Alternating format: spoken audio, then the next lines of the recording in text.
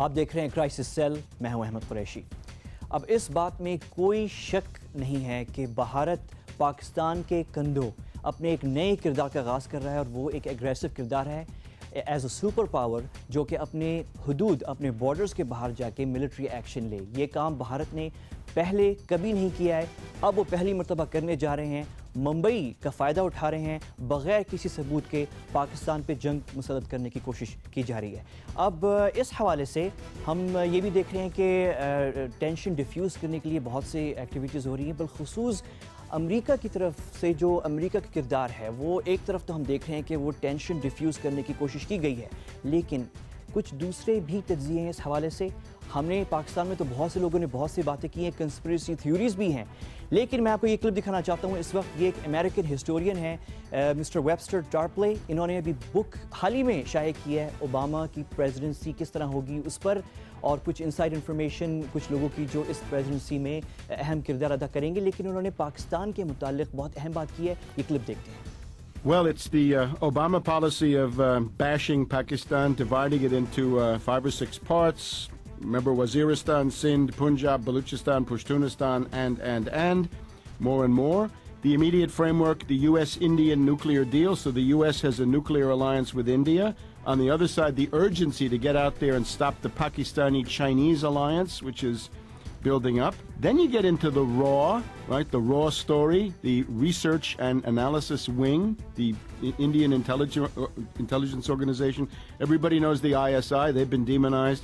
U.S. media have never talked about the raw. पिछले 48 hours में हमने देख लिया है कि पाकिस्तान के आला सतह के जो हुकाम हैं उनकी तरफ़ से बहुत सख्त किस्म के बयान बिल्कुल सामने आ चुके हैं प्रेसिडेंट ऑफ़ पाकिस्तान ने प्राइम मिनिस्टर ऑफ़ पाकिस्तान वज़ीर खारजा ने और कुछ रिपोर्ट्स के मुताबिक आर्मी चीफ के इन सब के जो स्टेटमेंट्स आए हैं वो बहुत क्लियर हैं जैसे कि सदर जरदारी ने कहा है कि Pakistan will defend itself we have it and no way are we giving it up till the last drop of our blood we shall defend this nation साथ ही बहुत तेज़ी से फास्ट डिप्लोमेटिक डेवलपमेंट्स हो रही हैं।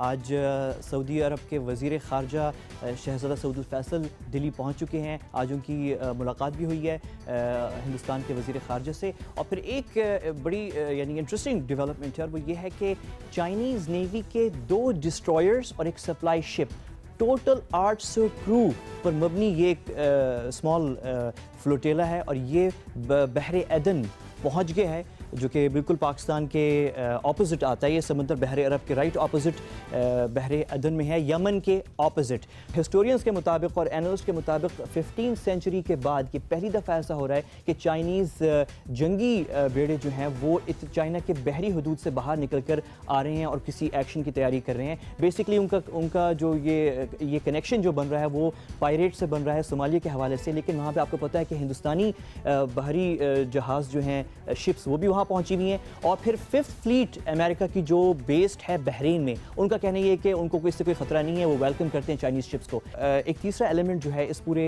डेवलपमेंट्स में वो इसराइल का है और वो इस तरह है कि क्या ये सवाल उठ रहा है कि हमारा सामना तो भारतीय फ़ौज से है, लेकिन भारत फ़ौज के पसे पर्दा क्या हम इसराइली हथियार का भी सामना कर रहे हैं। इस पर मजीद बात करने हमारे साथ इस्लामाबाद स्टूडियो से ज्वाइन कर रहे हैं brigadier Samson Simon Sharaf, retired brigadier हैं पाकिस्तान आर्म फोर्सेस के। Thank you brigadier for joining us my first question is कि खुदा न खास्ता अगर सूरत हाल बिगड़ती है और जंग छिड़ती है तो पाकिस्तान के भारत में मुमकिन अहदाफ क्या हो सकते हैं? अहमद कुरैशी, मैं समझता हूँ कि जिस किस्म की जंग का तस्वर हम लोगों के जहन में उन्नीस सौ पैंसठ या उन्नीस सौ इकहत्तर के हवाले से होगा, उस किस्म की जंग नहीं छिड़ेगी। अगर हम इसको समझने की कोशिश करें तो शायद जंग इस वक्त शुरू हो भी चुकी है और रफ्ता रफ्ता धीरे धीरे आहिस्ता आहिस्ता पाकिस्तान की अट्रिशन की जाएगी, जो कि फ़ौजी भी होगी इकनॉमिक भी होगी और जो हमारी इंटरनल इंटीग्रेशन है उसकी भी होगी। तो एक बड़े कैनवस के ऊपर जो मेन अहदाफ होंगे, वो हमारी पॉलिटिकल एट्रेशन है इंटरनल इंटीग्रेशन की एट्रेशन है, और फिर आर्म फोर्सेस को बदनाम करना है। पाकिस्तान के अहदाफ भी बहुत ज़्यादा हैं, और मुझे यकीन है कि इस वक्त पाकिस्तान की मसल्ह अफवाज ने और सियासी जो कायदीन हैं हमारे, उन्होंने वो अहदाफ चुने भी होंगे और उन पर बहस भी हुई होगी। और मेरे लिए इस किस्म के अहदाफ के मतलब कुछ कहना इस वक्त मुमकिन नहीं, क्योंकि ये कबल वक्त होगा। ठीक है। अच्छा दूसरी तरफ़ मैं आपसे ये ये भी पूछना चाहूँगा कि आपने इंटीग्रेशन की बात की थी। आपने कहा कि ये चीज़ जो है वॉर ऑफ़ एट्रिशन की सूरत या शक्ल इख्तियार कर सकती है और कई अरसे तक चल सकती है। इस ज़िम्न में आपने पाकिस्तान की इंटेग्रिटी या इंटीग्रेशन की बात की कि इसको भी हदफ बनाया जाएगा। अब जंग में डायरेक्ट हदफ तो हमें पता है शहरों पर या दूसरी जगहों पर पावर प्लांट्स पर इन जगहों पर लेकिन ये इंटीग्रेशन को कैसे वो टारगेट करना चाह रहे हैं आपके तजिए के मुताबिक? जो भी पाकिस्तान के ख़िलाफ़ एक फ़िज़िकल असॉल्ट होगा या एक्शन होगा हाँ वो प्रेसिजन स्ट्राइक्स हों हॉट परसूट हो टारगेटिंग हो सिलेक्टिव किस्म की, उसके साथ ही ये बाकी तमाम चीज़ें जो हैं ये भी शुरू हो जाएँगी। और इसमें इंडिया की एजेंसीज़ यूनाइट स्टेट्स की एजेंसीज़ ये सब इसमें शामिल होंगे, ताकि पाकिस्तान को अंदर से खोखला किया जाए। अब आपको पता है, इस साल फरवरी में हम सब मसरूफ़ थे यहाँ पर इंतबात में, हिंदुस्तान में, जो इसराइल के सफ़ीर हैं, मार्क सोफ़र, उन्होंने आउटलुक मैगज़ीन जो है इंडिया की, उनको एक इंटरव्यू दिया और उन्होंने फ़र्स्ट टाइम ये रिवील किया बड़े खुल के कि एक सीक्रेट माहे के तहत इसराइल ने बहुत मुश्किल वक्त में हिंदुस्तान की कारगिल में मदद की थी, जिसकी वजह से कारगिल का रुख जंग का मोड़ा गया। ये मार्क सोफर के, यानी एग्जैक्ट वर्ड्स हैं। अब मेरा आपसे सवाल ये है कि अभी हमारा जो सामना है, हमारी अफवाज का, वो हिंदुस्तानी फ़ौज से है। पस पर्दा, क्या हमारा सामना इसराइली हथियार से भी है? और अगर है तो क्या है वो हथियार? यकीनन यकीनन है और अब का नहीं है। ये उन्नीस सौ इकहत्तर में भी इमरजेंसी में anti tank cruise with weapons Israel ने एयर लिफ्ट किए थे इंडिया के लिए। और वो चीज़ें पाकिस्तान आर्मी के ख़िलाफ़ कश्मीर में इस्तेमाल भी हुई थी। आ, इंडिया और इसराइल की दफाही जो कोऑपरेशन है ये बहुत पुरानी है। ख़ासकर सर्वेलेंस सिस्टम्स में ड्रोन्स के शोबे में और गाइडेंस सिस्टम्स के अंदर। इसके अलावा हाँ। इस वक्त जो इंडिया के पास दो अवाक्स हैं उनमें एक रशियन इक्विपमेंट है जहाज़ दोनों रशियन है लेकिन एक में रशियन इक्विपमेंट है। एक में इसराइली इक्विपमेंट है।